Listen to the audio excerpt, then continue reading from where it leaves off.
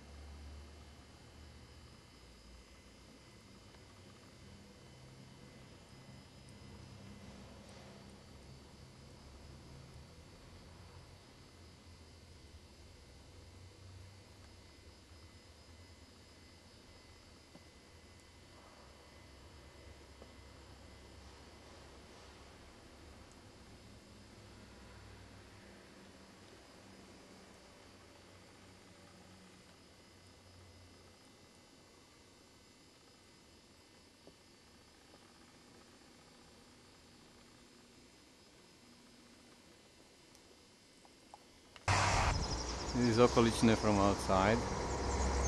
This church was built in 1482.